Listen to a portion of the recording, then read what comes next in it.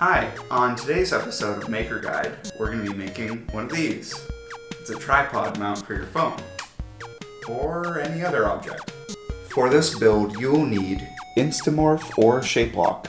They're essentially the same, but Instamorph is a little cheaper. Two quarter 20 nuts, or a quarter 20 coupling, a quarter 20 bolt, some plastic wrap, and a phone. Screw the two quarter 20 nuts onto the bolt. Screw them close together, but not too tight. You should be able to freely spin the bolt. Hot glue the two nuts together, wrap your phone in plastic wrap. This is important because Instamorph will bond to other plastics. Put some Instamorph in a bowl of water. You can reuse Instamorph, so if you have any extra scraps, put those in the bowl too.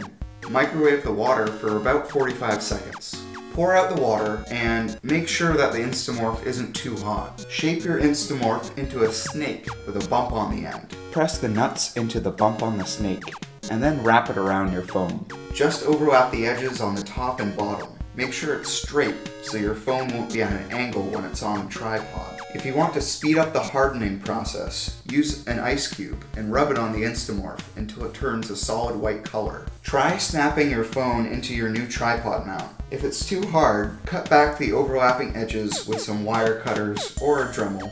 Screw it on the tripod and start filming. Well, that about wraps up this episode.